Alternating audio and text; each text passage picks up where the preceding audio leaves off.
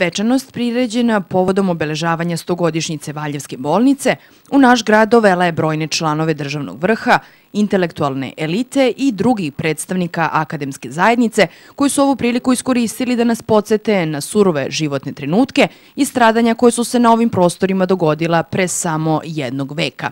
Predsednik Republike Srbije Tomislav Nikolić prvobitno je otišao na vojničko groblje u Valjevu gde je položio venac žrtvama Prvog svetskog rata, nakon čega se u pratnji gradonačelnika Stanka Terzića uputio u istorijski arhiv gde je bila otvorena izložba Stradanje i humanizam autora Velibora Vidića. O Valjevskoj bolnici mladima bi trebalo govoriti neprekidno. Sve dok im se taj strašni deo još strašnijeg velikog rata ne ureže u pamćenje i tamo ostane zajedno sa sećanjem na Cer i Kolubaru, odrnu Beograda, Albansku Golgotu i Solunski front. Naši preci zaslužili su da na njih budemo ponosni zbog pobjede u ratovima, ali one nisu zadobijene samo u rovovima i na bojnom polju. Vojevane su i tamo, su i tamo gde je redok hranjen i gde su mu previjane rane, kako, bi, kako ga ne bi stigla smrt ko izbjega u borbi. Pa i kad bi ga stigla, trebalo ga je sahraniti hrišćanski i obeležiti mu grob da se ne zaboravi. Tako jedno bojno polje.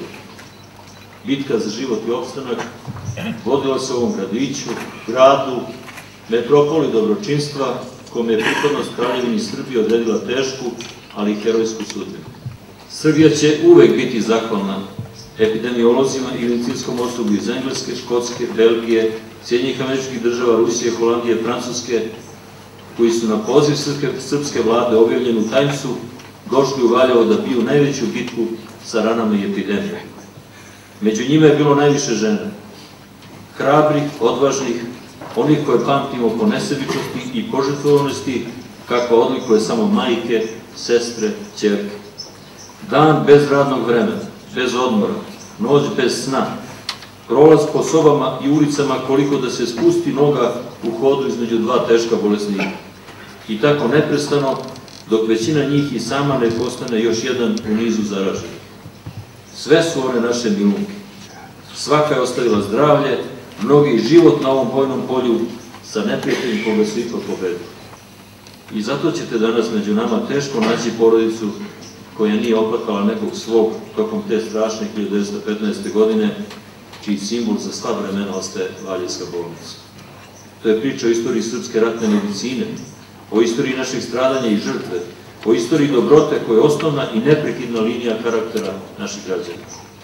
To je naše kolektivno nesvesno, kojim smo negovali i hranili svoje neprijatelje, kojim smo na bačen kamer odgovarali hlebom, kojim i danas brinemo o stotinama hiljada nesvesnih migranata izbeglih od rata i glada. Nismo krivi za njihovu patnju. Ne poznajemo ih. Malo šta znamo o njihovoj zemlji, ali znamo sve o njihovoj nesreći, jer smo ih sami prošli nejednom u svojoj istoriji. Dobrota ne trpi ograde i žice. Brinemo o toj nepreglednoj povorci žena i dece, starih i mladih, o toj seobi čitavih naroda sa jednog na drugi kraj sveta. I hleb, i lek, i postelja, i lepa reč. Dok ima za nas, bit će i za njih. Drugačije ponašanje ne bi nam oprostilo sećanje na Valjevsku bolnicu i naše postupke mnogo godina pre njega.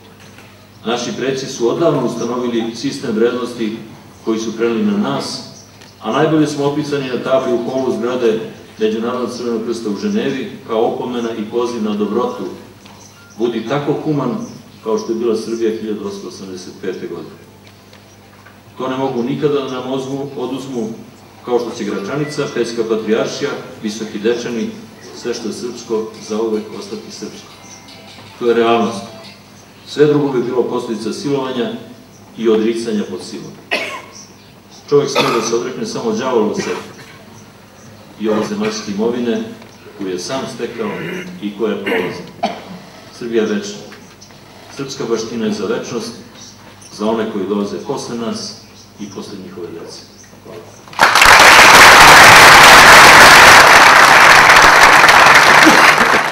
Sukob kod termopilskog klanca paradigmatski označio one trenutke u istoriji koji se jednostavno opisuju sa biti ili ne biti.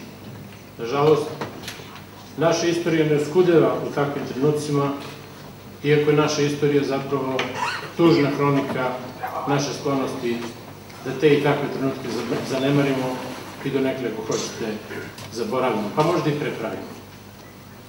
Leonidinom ako uz rame stoji fatalistička direktivnost Majora Gavrilovića. Ili, pitam vas, dragi valjevci, postoji li veća apoteoza pojma učitelja od one obične rečenice čoveka koji je u redu za pogubljenje, suočen sa mogućnošću da iz toga reda izađe, izgovorio ja i sada držim čas. I time prešao preko sobstvenog leša. Koliko znam, možda grešim, prostit ćete mi, on je služba u Valjevu. Kao što je takođe iz našeg nemara, samo ili delom, magijom reči Dobrice Ćosića ponovo rođen pojam Valjevske bolnice kao simbola svekolikog stradanja i pogibe jednog naroda ljudske solidarnosti bez koje cela istorija ne bi imala nikakvog smisla. Gradonačelnik Valjeva Stanko Terzić osvrnuo se na događaje iz 1914. i 1915. i istakao da bi otvaranje memorialnog centra upravo u našem gradu bilo od izuzetnog značaja za buduće generacije koje nikada ne smeju zaboraviti na humanost i stradanje. Smatramo našom dužnoću obavezno da izgradimo memorialni centar na ovom mestu gde je bilo ortezisna okružna bolnica 1914. kao posjećanje sa jedne strane i kao primer, simbol velikog stradanja i tragične sudbine srpskog naroda tokom velikog rata, a sa druge strane da taj memorialni centar bude jedna univerzalna, jedan univerzalni spomenik velikoj ljudskoj i plemenitosti, humanosti, solidarnosti, koji su ljudi iz daleka ispoljili. Grad Valjević obezbedio odgovarajuće sredstva i logističku podršku, računame na podršku Republike, na stranih dodatora i planiralo se taj memorialni centar završi 2018. kada obeležamo 100 godina završetka velikog rata. Pored brojnih ambasadora iz svih krajeva sveta, svečanoj akademiji u Centru za kulturu prisustvovao je i njegova svetost patrijarh srpski gospodin Irinej, kao i predsednik Srpske akademije nauka iz umetnosti dr. Vladimir Kostić.